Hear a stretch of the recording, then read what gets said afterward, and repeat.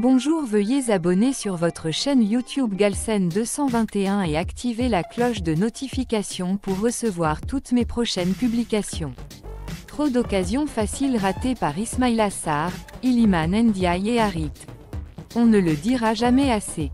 L'OM France, en ce début de saison, semble souffrir de son attaque qui rate trop d'occasions faciles. Face au Pana, plus d'une fois Ismail Assar, Iliman Ndiaye, Aubameyang et Vitinha ont tous manqué des occasions qu'ils auraient pu concrétiser et qui auraient pu éviter à l'OM d'aller au TAB. Face au Metz, Ismail Assar a eu trois opportunités en première mi-temps.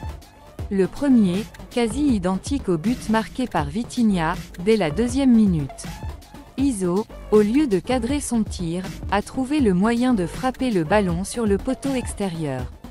À la sixième minute, son enroulé du gauche a juste été magnifique même s'il a fallu une parade décisive du gardien messin. Cependant à la 38e minute, il a eu une occasion en or. Servi en profondeur, il a vite préféré faire la passe au ramasseur du ballon.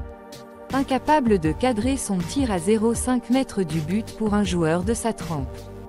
C'est croire qu'Ismaïla Sarr tête de lion est marabouté tout comme Iliman Ndiaye qui a vu sa tête heurter le montant extérieur du gardien messin à la 73e minute. En seconde période, Iso a également eu une grossière opportunité. Au lieu de frapper directement, il a voulu contrôler et en frappant le ballon est tombé sur le pied du défenseur. Harit a également eu une grossière opportunité malheureusement il n'a pas su mettre le ballon au fond. Vitinha, même s'il n'est pas trop technique, sait cadrer ses frappes. Iso et Iliman Ndiaye semblent être maraboutés pour rater des occasions si faciles et qu'ils n'ont pas l'habitude de manquer surtout Iliman. En équipe nationale Sénégal, certaines personnes, par pure méchanceté, ne veulent pas qu'on parle des autres. L'exemple de Diao Baldé Keta est éloquent. Iso et Iliman gagneraient à se remettre davantage au boulot mais à se protéger surtout des mauvais sorts. A bientôt pour une nouvelle vidéo et surtout n'oubliez pas d'abonner et activer la cloche de notification pour recevoir toutes nos prochaines publications merci.